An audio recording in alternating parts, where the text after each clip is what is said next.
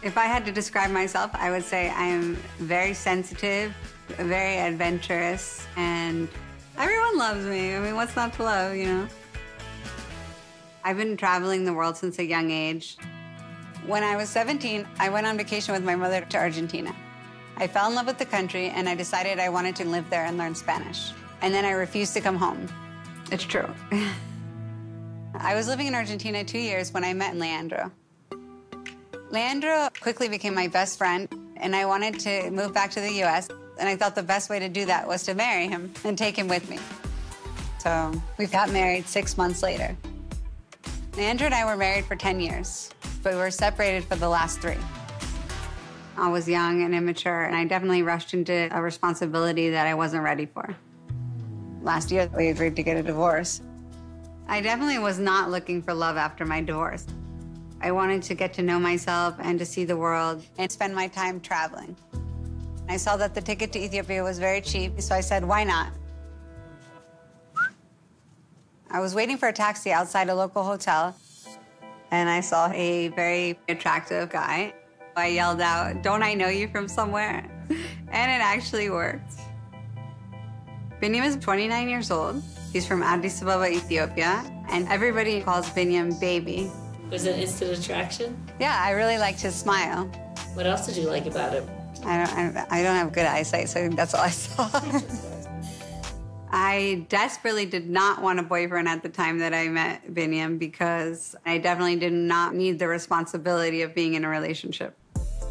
I did my best to avoid him. I told him, you know, we can't talk anymore. I can't see you anymore several times. But every time I would call him again and ask him, oh, can you come over? Uh, what are you doing? And after dating for three months, I got some unexpected news. I found out I was pregnant. Hey, I can't encourage you enough to reach out to other moms in this community. I'm six months pregnant with a baby boy. And let's take a seat. When I found out I was pregnant, I was really scared. So after three months, I came back to the US for prenatal care. Namaste. Namaste. So, a big piece of prenatal yoga is the community. So, let's go around the room and your name, how many weeks you are, and your birthing plan that you want to share with the group. My name is Ariela. I'm 26 weeks, and uh, my birthing plan is interesting uh, because I'm actually having the baby in Ethiopia, where my boyfriend is from. Wow. Oh my gosh. I think it's really important for both parents to be present at the birth. So the only way we can do that is by me moving to Ethiopia. But I'm nervous about it because obviously uh, they speak a different language, it's a different culture, and they have different, you know, facilities, and you know, not, they're not being an epidural. Like that's something that really scares me. I'm not. I don't have a high pain tolerance. The whole country, there are no epidurals. Yeah, so I um, have been contacting hospitals, and so far they say that they don't have the medicine.